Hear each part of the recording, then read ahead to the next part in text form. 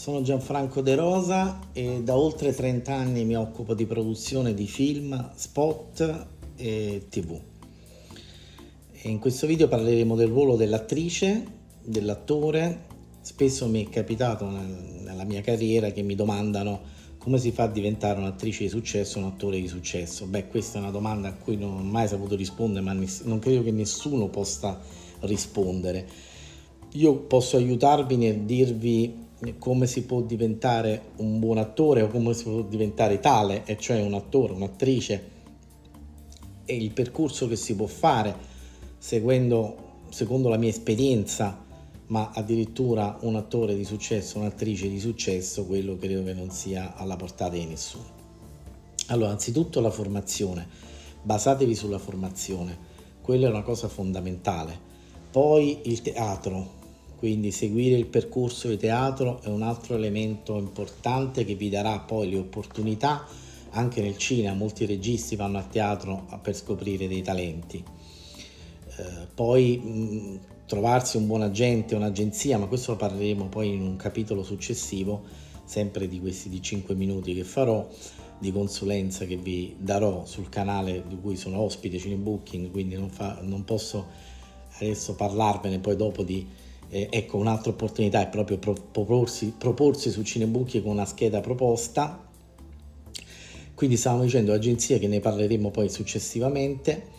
e il percorso formativo e i cortometraggi. Per esempio, fare dei cortometraggi è sicuramente una, un laboratorio che vi può dare una base per quella formazione che poi dopo vi darà l'opportunità per il grande film, il grande salto.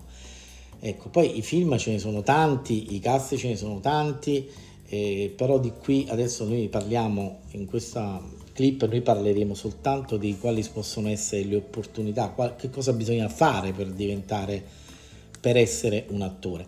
Ecco, un'altra cosa, dimenticarsi di fare il figurante, cioè di prendere, di, di seguire, sono due percorsi diversi e anche lì poi faremo un capitolo che parleremo di figuranti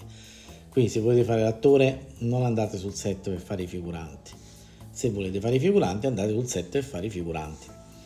Anche se abbiamo poi in passato delle situazioni, dei esempi che ci sono stati di persone che dal figurante poi sono diventati degli attori, ma insomma piuttosto discutibili. Ehm, oggi voi mi direte, eh ma come mai ci sono gli influencer, il cinema prende tante persone che vengono dalla, dal, dal, dal web, dagli youtuber, eh, quello purtroppo è un fenomeno che, che non andrebbe associato poi a, all'attore, però oggi è un mercato che incide il fatto che una persona abbia un seguito e sicuramente anche in quel caso lì avrà un, e non, non dovrebbe essere così, un'opportunità poi magari ad arrivare eh, al cinema in un film solo per il fatto che magari si porta dietro un seguito, ma questo è sempre stato così, ma anche in politica eh, se uno ha un seguito diventa eh, un, un esponente politico o meno. Quindi, ricapitolando, il percorso della formazione in primis, eh, il teatro, eh, i cortometraggi e questo rientra ecco, nella, nelle opportunità che poi possono far diventare eh, un buon attore, poi che diventi di successo, questo è un altro discorso, però le opportunità che una persona può avere nel corso della propria, diciamo così, carriera e quindi seguire questi, queste, queste fasi, diciamo così, di queste tappe. Eh, poi è chiaro, fare tanti casting, questo sicuramente eh, aprirà più le porte, e quindi seguire tutta una serie di, eh, di opportunità eh, che gli si vengono proposte e cercare di non, essere, di non, essere, troppo selettivo, quindi cercare di prendere un po' tutto agli inizi